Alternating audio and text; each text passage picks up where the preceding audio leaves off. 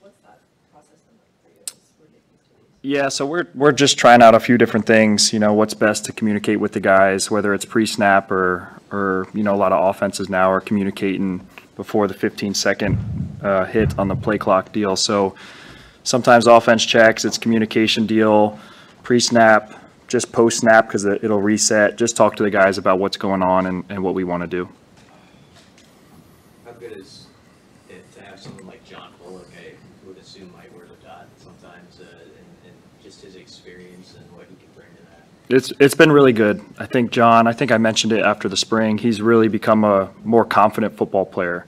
Obviously, he's an older guy. He's been here for a long time. He knows the expectations of the defense. He knows the expectations of Coach White, Coach Rhule. So just having an older veteran guy out there really helps. You know, obviously keep everything together.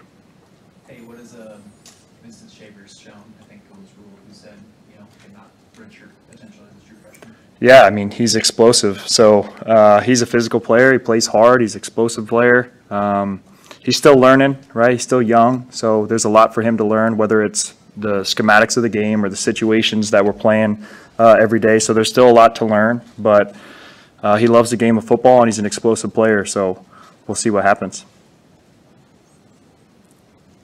What's, uh, what's Princewill's skill set that he's played D line now, he's kind of a pass rushing linebacker, what's his skill set, what's the next step for him in his sophomore year? Yeah, obviously he's he's super talented. Um, elite size for, for a player. He can move well in space. He can play on the ball. He can play off the ball. He can pass rush. He can cover.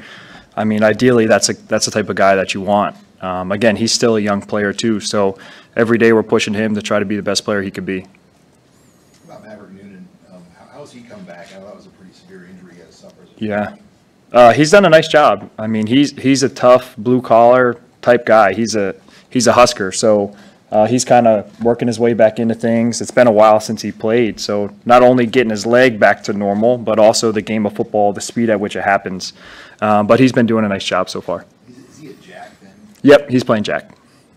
What's the next step for, for Javin, or the challenge you have for him after, you know, his first year in Tony White's defense and where he can take it now? Yeah, I think I think there's really every part of Javin's game that that I've been on him about. Um, he obviously never played linebacker before until last year, and then previous to that, he's been through so many injuries in his career and a lot of adversity. So, just playing the game, understand how to play the linebacker position, the physical part of it, playing in the box, reading my keys. Obviously, the cover thing for him is kind of natural because he's played DB most of his life, but um, just read and react and, and playing the game at a really high level um, at the linebacker position is just an everyday process for him, along with the rest of the guys. Tony mentioned Stefon's starting to find it a little bit more. What have you seen out of him so far? Yeah, Steph. Steph's a natural football player. He has really good football instincts. He understands space. He has a really good feel for the ball. Um, his biggest challenge has been adjusting to the way we do things here, from literally everything: how we practice, the number of reps we have, how we expect the guys to run to the football, how hard we play, how physical we play in practice. So, he's he's getting better each week, and I'm proud of him for that. You were up a year ago with the Jacks in room. Yeah. So what does that kind of allow you to do now that Jack Potenza's in that group? How, how much does that free you up to do with the other? Yeah, I think it's just a little bit more specific. Um, you know, the Jacks do a lot of different things within the system, and then, you know, the other guys were doing something a little bit different than those guys. So it allows us to be really specific about the training and uh, allow them to, to be with Jack one on one and and deal with both sides of things. Hey, Coach, I know Vince Genatone is sort of a new guy. What are, what have your initial reactions been with him? He's another guy who's a really explosive football player. Um, he hasn't played much defense in his career, a lot of special teams so far, but he he's he was in a system similar to ours.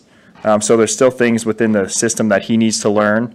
Uh, but again, he's coming to a new place, figuring out how I do things, everything that we do.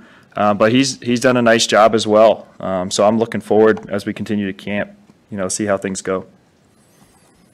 It's hard for a true freshman to play, how quickly did you realize that Shavers had what it took that he could maybe help right away? I think you look at the traits that he has. Obviously, he's like I mentioned, he's really explosive. So when you when you have that, you got speed, explosiveness. He's powerful. He's quick. When you have those traits, obviously you got to add the the actual football part to it too. And so I think that's where there's still a lot of growth. Um, and so I think when you see those things and he loves the game of football, you're like, we could find a place for this guy when it's right. Tony White talked about getting like everyone in the room ready, you know, that second group of DBs, a lot of people out there. Just in your room, how are you getting the entire linebacker group kind of ready to potentially play this fall?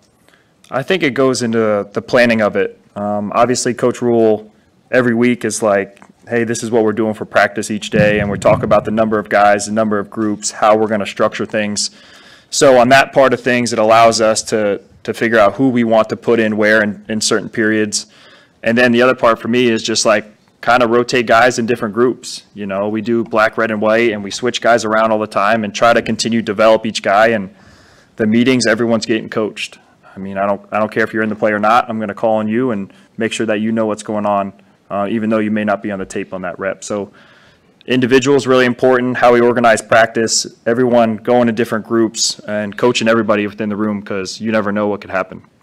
Bob, Tony mentioned that tackling in the scrimmage maybe wasn't what you wanted. How would you assess it, particularly with your group? Yeah, I, I agree hundred percent. I think a lot of times through camp, you know, everything we do is thud, right? So now when you go into a live situation, now you're adjusting the way that you do things a little bit, but how we teach, how we thud should translate into, into going live. It's just some of those angle tackles where we normally don't tackle people, we started tackling people and you see guys do things a little bit different when the lights come on. So again, it goes back to the training and putting them in those situations so that we allow them to execute when the time comes.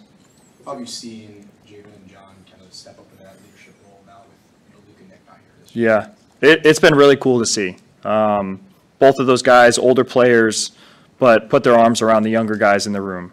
Um, they do everything with them, from watch tape to pre-practice stuff to in the weight room. They're always together, so they're they're a really tight group of guys.